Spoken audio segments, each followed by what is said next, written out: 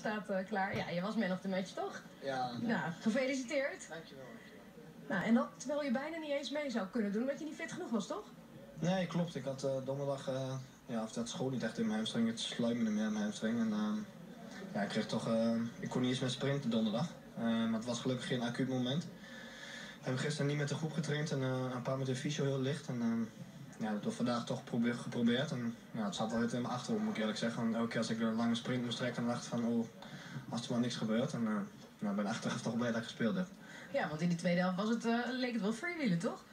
Ja, de tweede helft was lekker. Ik, eh, dat was voor mij ook, eh, weet je, je, kon, eh, je had, ik had de ruimte om te gaan. En ja, dan eh, mag ik eh, gelukkig ook een keer een goal maken. En een fantastische bal van Thomas. En, eh, ja, dat was, eh, voor ons was het gewoon, eh, gewoon lekker. Het is belangrijk dat we de nul hebben gehouden. En, ja, dat is, eh, dat is het belangrijkste om eh, de drie puntjes hier te houden.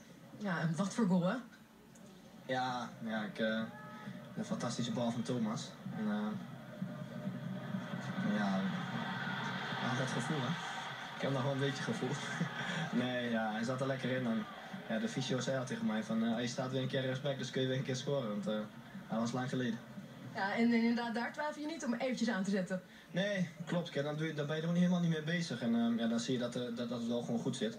En natuurlijk uh, het hamstring wel wat zwaarder op een gegeven moment, vlak voor rust. En, ja, dus zei de trainer al tegen mij als 2-3-0, want dan, dan haal je eraf en neem geen risico. En, nou, gelukkig ja, kon hij dat doen. Ja, je nieuwe favoriete positie nu weer? ja, als ik elke week kan scoren, dan, uh, dan blijf ik graag staan.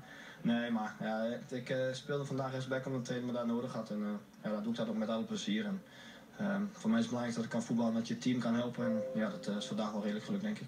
Ja, 4-0, beter kans of niet? Nou, als je ons spel hebt gezien, dan denk ik dat het nog wel beter kan. Vorige week hebben we beter gespeeld met grote fases. En ja, dan speel je 2-2 gelijk tegen Roda. En, ehm, ja, nou, dit, ik heb toch liever dit, moet ik zeggen. Nou, ga lekker nagenieten. Dankjewel. Dankjewel.